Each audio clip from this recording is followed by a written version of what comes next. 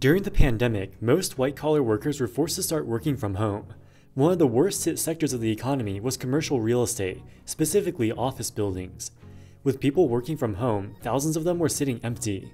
Despite this, companies had long term lease contracts, so they were still forced to pay rent. So commercial landlords actually did okay during 2020 and 2021. With the pandemic now behind us, companies are gradually forcing their employees to return to the office for most days out of the week. This should be great news for landlords, as it means the work from home era is finally coming to an end. Despite this apparent tailwind, commercial property stocks have been suffering catastrophic losses. If you look at the biggest office landlords in the US, almost all of their share prices have declined below their trough levels at the peak of the pandemic. Publicly traded real estate holding companies are called real estate investment trusts, or REITs for short. How is this possible? Shouldn't these REITs be recovering now that employees are returning to the office? There are two problems. Firstly, most companies sign multi year tenancy contracts that cannot be broken without significant penalties. Many companies wanted to stop renting in 2020, but they had to wait until their leases expired, which is happening now. Secondly, real estate is expensive. Because of this, REITs tend to take on huge loans to buy properties like office buildings.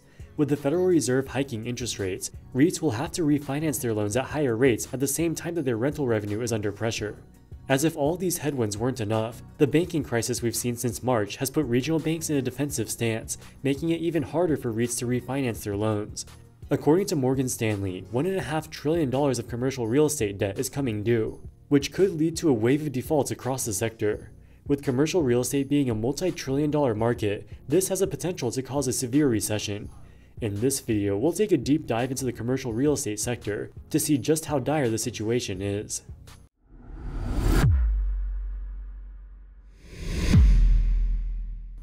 The pandemic created a forced experiment where almost all workers who could work from home were forced to. And with new tools like Slack and Zoom, many companies were pleasantly surprised that white collar workers could do just about everything they did at the office from the safety of their homes. There are a few major benefits to working from home. Firstly, workers don't have to waste time on long commutes to the office. Secondly, many companies are located in large cities with expensive real estate and high taxes. Because of the high cost of living, they're forced to pay their workers very high wages. With work from home, companies can hire people living in suburban or rural areas where the cost of living is much lower. This will allow them to get away with paying far lower gross wages. And finally, if all employees are working from home, there is no need to rent an expensive office building in a large city. In 2020 and 2021, many companies announced that they would continue work from home policies even after the pandemic. For example, in 2020, Mark Zuckerberg said that working from home makes him more productive, and he would allow most employees to work from home indefinitely. It wasn't just Facebook. Many companies announced that they would never require workers to return to the office. But over time, it became clear that this may have been a mistake. While it is theoretically possible for a lot of jobs to be done fully remotely, there are far more distractions and far less accountability. It is very difficult to quantify the effect of remote work on productivity. So the best proxy is the performance of students who have to take standardized exams. When students were forced to take classes remotely, academic achievement decreased substantially. In 2022, 4 in 10 8th graders across the US failed to grasp basic math concepts, which represents a 30 year low. In New York, which was hit especially hard by the pandemic, the state decreased minimum proficiency scores, otherwise, the number of students flunking would be catastrophic. While it's technically possible to study remotely, many kids lack the discipline to listen to lectures for hours on end when they could easily play video games without anyone noticing. While adults should have greater discipline than kids, they too are not immune from slacking off when their bosses and coworkers can't see them. By the end of 2020, and especially since the beginning of 2023, more and more companies are changing their tune on work from home policies. In a 180 degree U turn, Zuckerberg said that workers get more done when they are physically in the office, and Meta is currently evaluating return to office requirements. Meta has been monitoring the quantity and quality of their employees' work output and found that workers who come into the office perform better on average. Amazon, Apple, Disney, Goldman Sachs, and Salesforce have all recently announced return to the office requirements, just to name a few. According to a recent study from Resume Builder, 90% of companies are planning to require their employees to return to the office for at least some days per week in 2023. The return to the office is real, and we don't have to rely on surveys or estimates to measure its magnitude. There's a company called Kastle Systems, which makes the electronic card readers workers use to enter office buildings. By looking at the number of swipes on their card readers, Kastle knows exactly how many workers are physically coming into the office.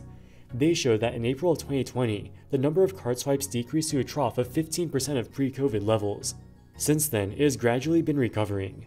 As of May 2022, this has increased to 50% of pre COVID levels. The recovery looks highly encouraging for the industry. So, why is it the case that office REITs are continuing to decline in value, even below their pandemic lows?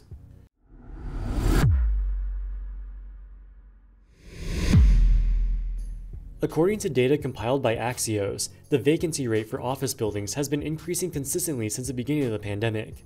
It currently sits at 13%, which is even higher than the peak of the 2008 global financial crisis. This completely contradicts the recovery that we've seen in the Kastle card swipe data. So, how can this be the case? It's because they're measuring different things. A landlord doesn't care how many workers come into the office, they just care how many floors they can rent. The vacancy rate is the square footage of the building that is not being rented, divided by the total number of square feet in the building. Let's say you own an office building with two floors. There are 5 seats on each floor for 10 seats in total. You have one tenant who has 10 employees, so they fill up the entire building, giving you a 100% occupancy rate. During the pandemic, all 10 employees are forced to work from home, so the percentage of seats filled decreases to 0%. But the tenant signed a long-term lease, so they have to continue paying rent despite the fact that the building is empty. So your occupancy rate is still 100%. In 2023, the lease finally ends. Your tenant has a new hybrid working arrangement, so their employees come to the office half of the days and work from home on the other half. On any given day, only 5 employees will come to the office, so the tenant renews the lease but only rents one floor instead of two. As the landlord, your occupancy rate and rental revenue declined by 50%.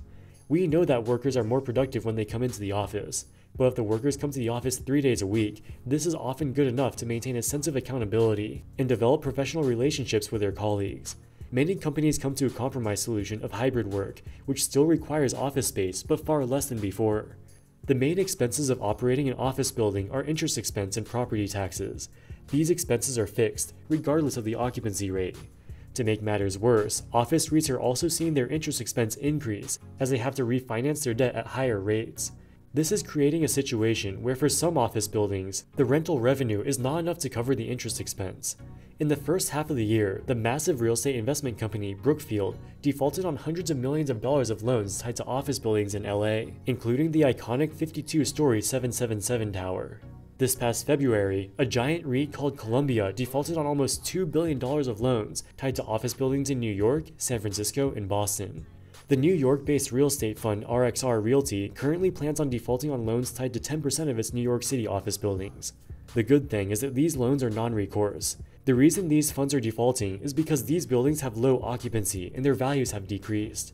The value of the property is now less than the mortgage, even if they had cash on hand to make the interest payments, they're better off defaulting and handing the keys over to their lenders. To the extent that the building is worth less than the mortgage, the lender eats the loss. Brookfield claims that 95% of their real estate is high quality buildings, which they can easily rent for high rates. They're intentionally defaulting on the worst 5% of their property portfolio because they believe that the value of these properties has declined. Given that the loans are non recourse, the biggest losers from this property crash may be the banks, and this problem could not have come at a worse time.